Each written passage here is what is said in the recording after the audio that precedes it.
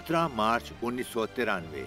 अमरीकी थिएटर की खातून अव्वल चल बसी ये रेडियो टेलीविजन और फिल्म की नामवर फनकारा हेलन हेस थी जिन्होंने पाँच बरस की उम्र से अदाकारी का आगाज किया और अस्सी साल से जायद अरसे तक अदाकारी के पेशे से वाबस्ता रहीं। इस दौरान उन्होंने airport Anastasia night flight Arrowsmith the scene of Madelon Claudet और अ फेयरवेल टू आर्म समेत मुताद फिल्मों में अदाकारी के जौहर दिखाए उनकी फनी खिदमत के इतराफ में उन्हें दो बार ऑस्कर अवार्ड जबकि कई दीगर एजाज से भी नवाजा गया